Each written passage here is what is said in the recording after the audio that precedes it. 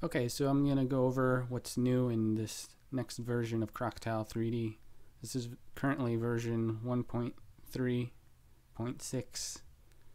So let's get started going over what has been improved or changed. First of all, I fi fixed a bug related to the magnifying list. If it's too low to the screen, it gets flipped up and then covers this button. So hopefully that'll be fixed. I know it's at least fixed in the Windows versions. And next is I added a working file name to the scene. So if you load a scene or if you save a scene, it will display the name of it right here. So that's if you're working on a lot of different scenes, you might forget which one you're working on. You can just look up here at the at the name of it. Okay, so next I added uh, restore. I added a um, the ability for the program to remember your zoom levels for the tile set and painting tab. So if you're zoomed in 400%, if you quit the application and then reload the application, the zoom level should remain the same as you left it. Okay. Next, I uh, added a in this shortcut menu it lists the shortcuts but uh, if you had custom key bindings they wouldn't update this this menu. So now if you have custom key bindings these shortcuts will reflect those. Next I fixed an exporting option using power of two textures right here. This wasn't working before. I mean, it was working if you had the tile spacing set, but if you didn't want to use tile spacing, using power of two textures would not apply. So now this applies regardless of whether you're using tile spacing or not.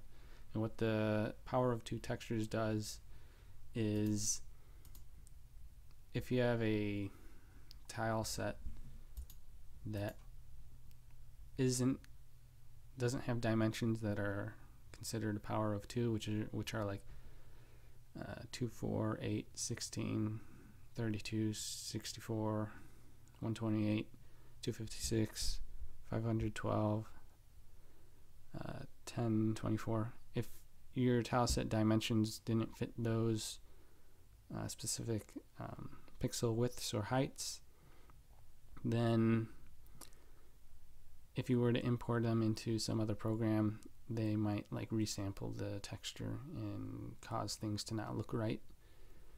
So to prevent that, you may need to check this box and use power of two textures if you're not using a tile set size that that fits those dimensions. So like if you're using a tile set size that has a width of like 300 pixels or 200 pixels or something like that, that might be something to consider okay? And okay so next. I added a scaling option when exporting. So right here you can set the scale if you if you want to adjust things. So right now one is considered uh, normal size. If it's below one it'll reduce the size. If it's above one it'll increase the size. It just magnifies, it just uh, multiplies that value to all the vertices positions.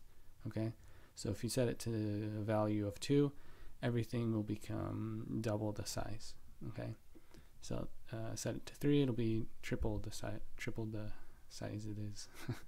okay, so next I added a border to the tile sets right here that you can see and this is useful if um, you're editing a section like that, you go into the paint tab, it's easier to see where the section ends and where it begins, okay? This is useful if uh, you're you have a lot of transparent area and you're not sure like where your boundaries are, okay? So next I added an option in the settings to align the brush to the crosshair. So that is right here, align brush to crosshair.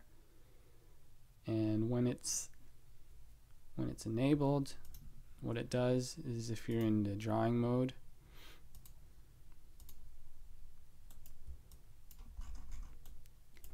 it will align it the edges to the crosshair point. Okay. In some cases, you may have noticed if your crosshair has moved, the tile brush would not align with it. Okay. So with this option on, it always aligns to the crosshair. Can you see that? So if we turn it off, let's see what it does. You can see that it's not aligned to the crosshair, regardless of where you move it. Instead, it's aligned to the origin point. So if we put the crosshair next to the origin point, which is down here, next to the corner of this house, it always aligns with the origin point in the scene, which is 000, if it's if this option is disabled. Okay.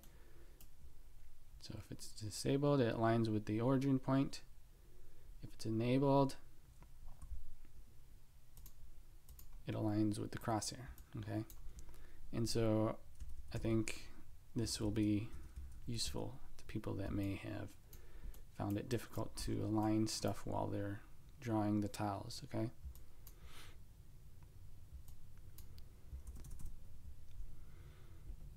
Next, added an option in the settings, overlap tile brush. So where's that? Overlap tile brush right here. And what this does is if you have multiple objects selected like this,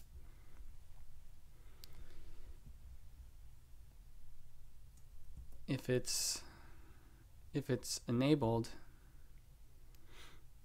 you could draw and it'll overlap. The tile brush just moves one tile space okay? Can you see that? Now if it's disabled it will not overlap as you can see So as you move the tile brush around, it prevents it from overlapping. So if you draw, they won't overlap.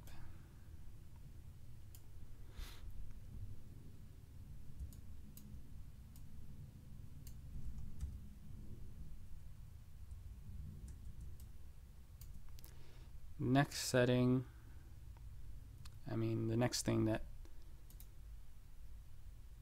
we've implemented is when loading a scene, tile brush wouldn't display the correct tile scale. Okay, so like if you had a tile scale of 2, if you loaded the scene, it wouldn't correctly uh, it wouldn't correctly correctly re refresh the tile brush to reflect your setting. So now it should work. Next, I, re I reduced the lag with selecting many vertices and faces with the lasso box.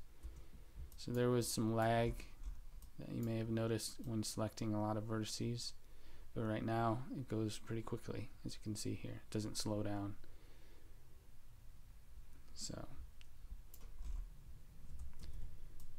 select all of them, and as you can see, oops.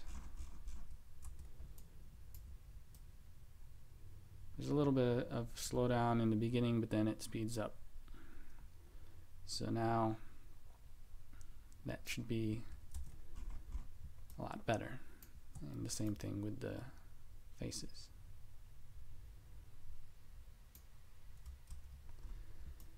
Okay.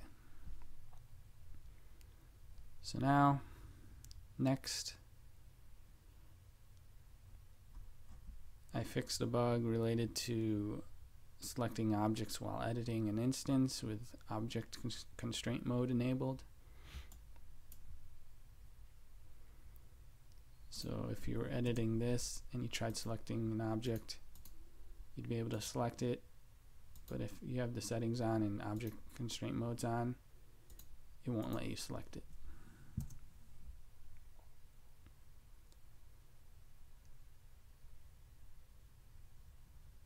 Can now select multiple object instances by holding control and control alt to deselect them.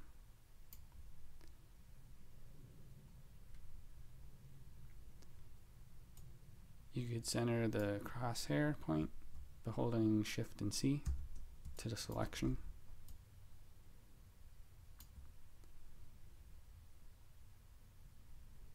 When you move the mouse out of the scene, it will hide the brush.